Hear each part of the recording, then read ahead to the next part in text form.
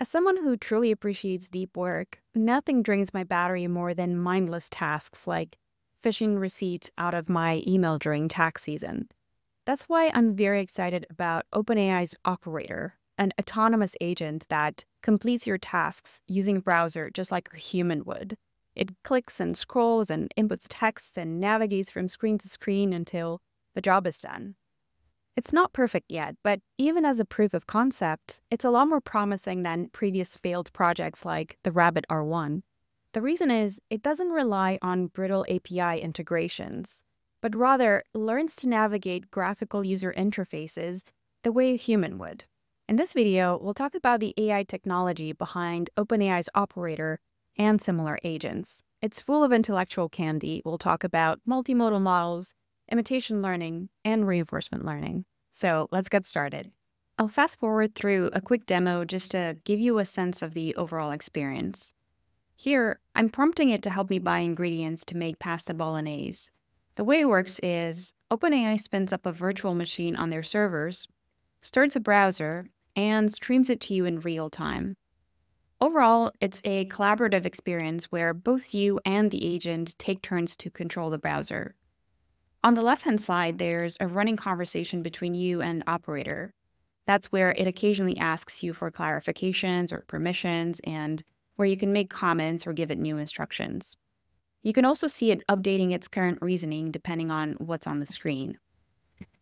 It's remarkable that it asks for your input at the right time before sensitive actions like checking out or when it needs additional information like your address.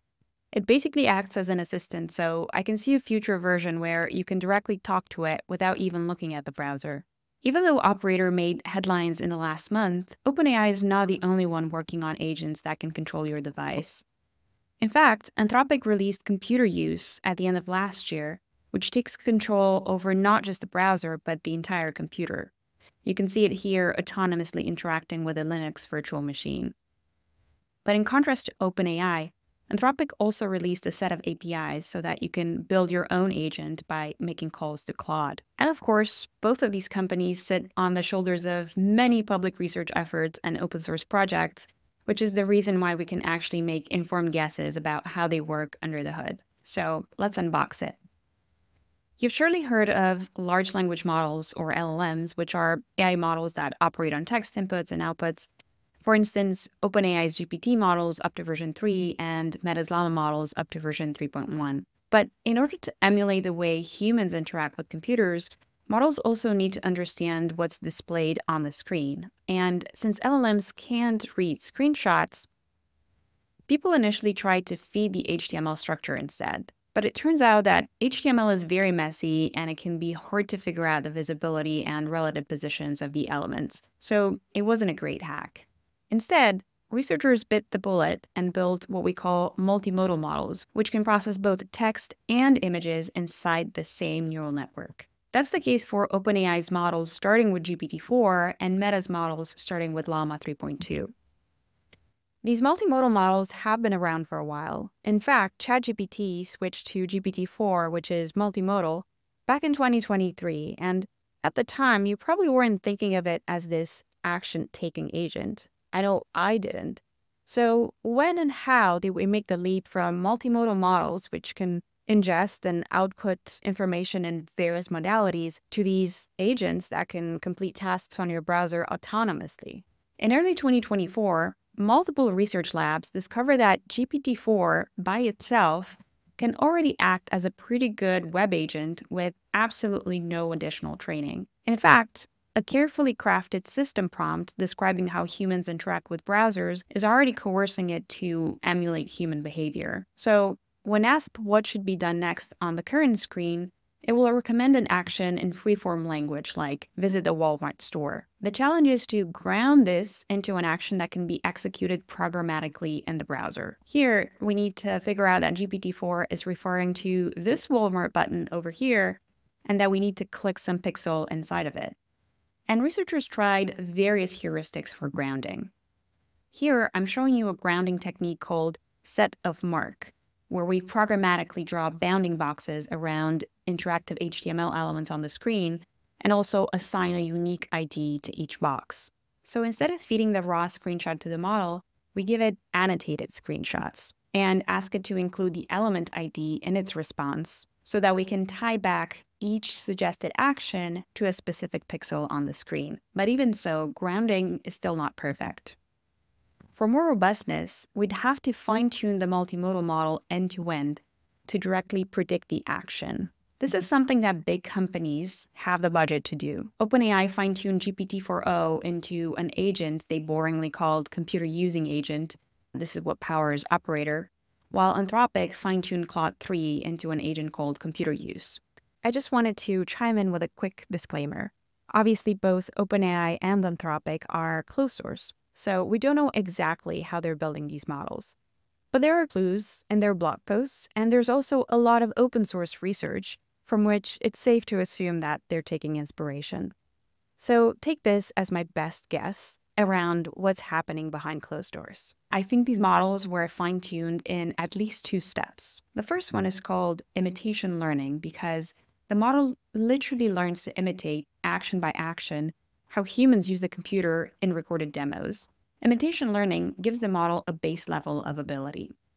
For instance, if in the demo, the human clicks on the Walmart button, the model will learn that certain regions of the screen, and buttons in particular, are worth paying more attention to than the white space or the banner image. But of course, there's a limit to how many demos humans can produce manually. We could also generate demos programmatically. In mm-hmm. fact, it looks like Anthropic did so with basic computer tools like a calculator and a text editor, but even these synthetic demos still need to be scripted by humans, and they won't cover all scenarios you'd encounter in real life when using a computer. The true power comes from reinforcement learning. That means the agent is no longer shown the right sequence of activities to reach a goal. It's simply allowed to try things and at the very end of the session, it's given feedback on whether it successfully completed the task. Very similar to how we train models to play chess or Minecraft. When we allow trial and error, the model implicitly learns how to react to unexpected events that might not have been captured in the demo, like pop-ups, for instance. And it also learns to backtrack when it goes down a wrong path. For instance, here it selected the wrong birth date, but it keeps retrying and eventually gets it right. To make recovery possible, these agents don't only look at the current screenshot, but also keep track of a truncated history of previous screenshots and actions. When stuck, this allows them to do a post-mortem and figure out how to get back to a good previous state from where they can recover. Another crucial behavior enabled by reinforcement learning is that operator gives back control to the user before sensitive actions with external side effects like purchasing something or sending an email. Here's how the safety mechanism is taught through reinforcement learning. Normally, an agent goes through an entire sequence of actions and, at the very end, receives a reward that reflects whether the task was completed successfully. This is just standard reinforcement learning.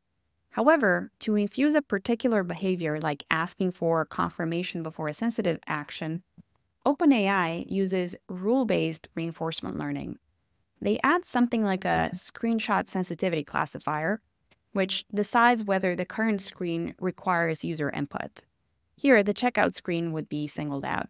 And at this point, the agent will receive a positive reward if it chooses to give control back to the user, and a negative reward otherwise. This two-staged approach is very similar to how humans learn to use technology. We first observe others, and then we go and explore on our own. We're witnessing the dawn of a completely new generation of assistants that go well beyond handwritten rules and brutal API integrations, and they truly act as human secretaries. What I find most interesting is how far the open source alternatives have gone by simply reusing GPT-4 in smart ways with no additional training whatsoever. This tells us that the technology that we have today might actually be underutilized and Maybe the bottleneck is our own imagination. I'm sure that web agents are just the tip of the iceberg when it comes to automating away boring stuff that we don't want to do. If you've made it this far, thank you. I'd love to hear in the comments how you feel about the level of detail in this video, whether you'd like a higher level overview, demos, or even more technical details. Thank you, and I'll see you in the next one.